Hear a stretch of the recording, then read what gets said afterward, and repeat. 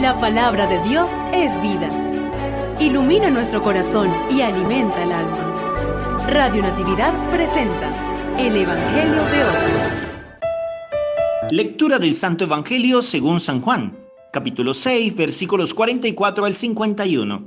Gloria a ti, Señor. En aquel tiempo Jesús dijo a los judíos, Nadie puede venir a mí si no lo atrae el Padre, que me ha enviado, y a ese yo lo resucitaré el último día. Está escrito en los profetas, todos serán discípulos de Dios. Todo aquel que escucha al Padre y aprende de Él se acerca a mí. No es que alguien haya visto al Padre, fuera de aquel que procede de Dios, ese sí ha visto al Padre. Yo les aseguro, el que cree en mí tiene vida eterna. Yo soy el pan de la vida. Sus padres comieron el maná en el desierto y sin embargo murieron. Este es el pan que ha bajado del cielo para que quien lo coma no muera. Yo soy el pan vivo que ha bajado del cielo. El que coma de este pan vivirá para siempre. Y el pan que yo les voy a dar es mi carne, para que el mundo tenga vida. Palabra del Señor. Gloria a ti, Señor Jesús. Un saludo de paz y bien para todos aquellos que nos escuchan a través de Radio Natividad, la emisora católica del Táchira, donde queremos ayudarte a aprovechar bien los dones que el Señor nos ha regalado, experimentando plenamente la fe y el amor en Jesucristo. Hoy el Evangelio de San Juan nos da un detallazo importante. Todos somos discípulos de Dios si cumplimos lo que Él nos pide. ¿Y qué nos pide para ser sus discípulos?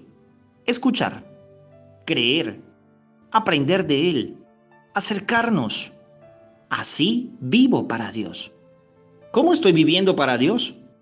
¿Soy realmente un discípulo? Más aún, el Señor dice que si creemos en Él, entonces comemos de Él. El Señor dice de manera real, yo soy el pan vivo que ha bajado del cielo, el que coma de este pan vivirá para siempre.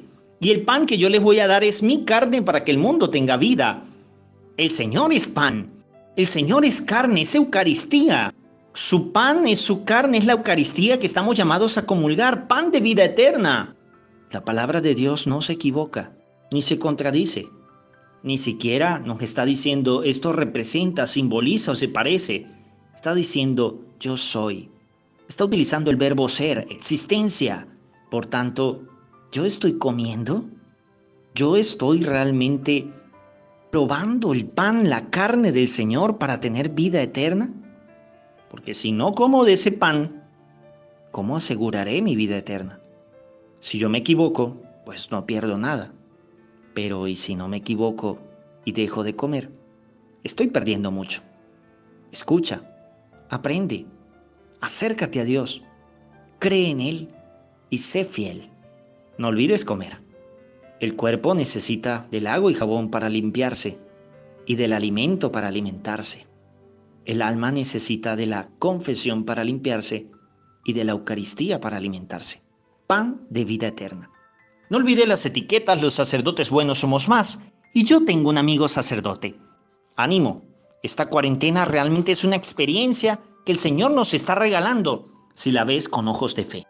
Dios te bendiga. Gloria al Padre y al Hijo y al Espíritu Santo, como era en el principio, ahora y siempre, por los siglos de los siglos. Amén.